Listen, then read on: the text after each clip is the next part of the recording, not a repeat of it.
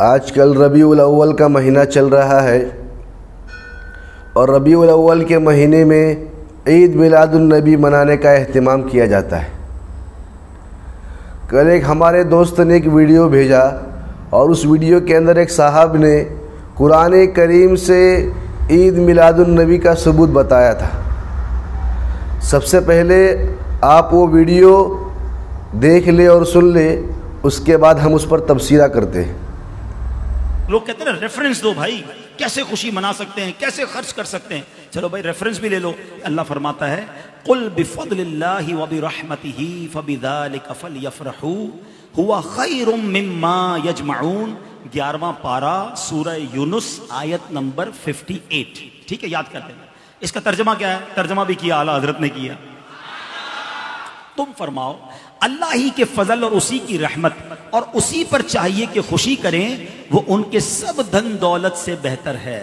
अल्लाह की रहमत और फजल पर खुशी करें तो सब धन दौलत से बेहतर है। अच्छा फिर अल्लाह की कोई भी रहमत हो तो खुशी करने का हुक्म है तो जो सबसे बड़ी रहमत हो, जो सबसे बड़ी नेमत हो, अब आप हो सकता कोई कहे, यार, नबी पाक अल्लाह की रहमत है, ये कहाँ से आया भाई? और फिर कुरान का रेफरेंस दे देता हूँ।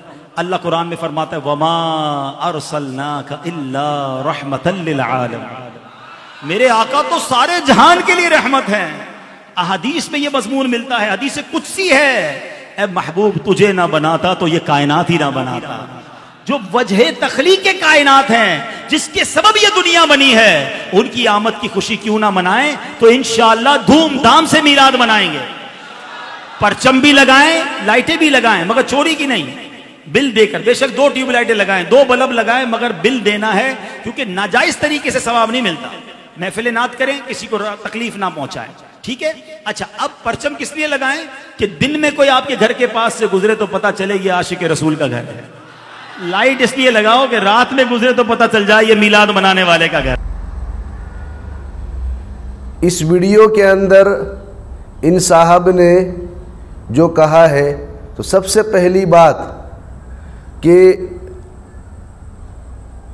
जो बात उन्होंने कही है, वो साफ़ तौर पर और इबारतुलनस जिसको इस्तिला में कहा जाता है इबारतुलनस साफ़ तौर पर नहीं कही गई। जैसे कि दिगर बातें कुरान करीम में आई है अकीमसला नमाज़ कायम करो, आतु ज़क़ा ज़क़़त दो।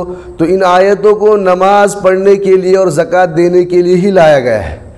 और जो बात इन साहब ने बयान की है, वो साफ़ तौर पर ईद मिलादुलनबी को बयान करने के लिए नहीं लाई गई है, बल्कि उन्होंने दलालतुलनस से इस्तलाल किया है। पहली बात।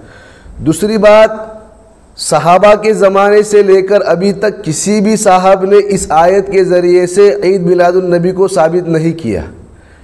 तीसरी बात, सहाबा के ज़माने में और उनके बाद के ज़माने में किसी ने भी ईद मिलादुलनबी नहीं मनाया बल्कि इसकी शुरुआत ही पाँचवीं सदी के अंदर हुई है उसके बाद ईद मिलादुलनबी बनाया जाता है। उससे पहले कि, किसी ने भी ईद मिलादुलनबी नहीं बनाया। और चौथी बात अगर हम इस कुरान करीम की इस आयत से इस्तेलाल करके ये कहें कि जो आयत इस मजमून में बयान किया है कि अल्लाह के फ़ज़ल और अल्लाह की रहमत के ऊपर खुशी खुशी मनाओ और अल्लाह के नबी तो सबसे बड़ी रहमत है। जब अल्लाह के नबी सल्लल्लाहु अलैहि वसल्लम दुनिया में आए तो उस पर खुशी मनाना चाहिए। तो इस आयत में सिर्फ़ खुशी मनाने के बारे में कहा गया है। उससे ज़्यादा जो कुछ आज किया जाता है, यानी झंडे लेकर घूमना और लाइट लगाना वगैरह, ये तमाम चीज़ें इस आयत से साबित नहीं हो रही। इस आयत से ये साबित हो रहा है कि सिर्फ़ इसमें खुशी मनाने के लिए कहा है। और हुजूर की आमद पर खुशी मनाना और दिल से अच्छा समझना, ये तो हर इंसान के दिल में होता है और होना चाहिए।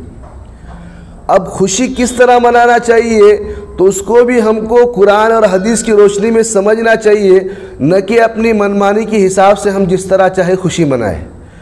एक हदीस में मुस्लिम शरीफ की रिवायत है, उसमें आप सल्लल्लाहु अलैहि वसल्लम से पूछा गया कि आप पीर के दिन रोज़ा क्यों रखते हैं? तो आप सल्लल्लाहु अलैहि वसल्लम ने फरमाया कि मैं इसी दिन पैदा किया गया और इस, और इसी दिन मुझ पर कुरान नाजिल किया गया।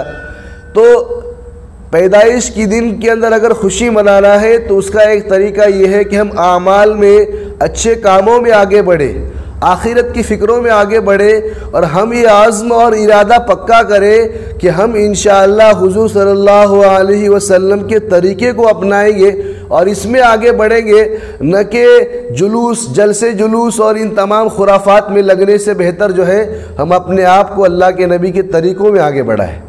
तो अल्लाह ताला हम सबको सही समझ अता फ़रमाए और उस पर अमल की तोफ़ी अता फ़रमाए।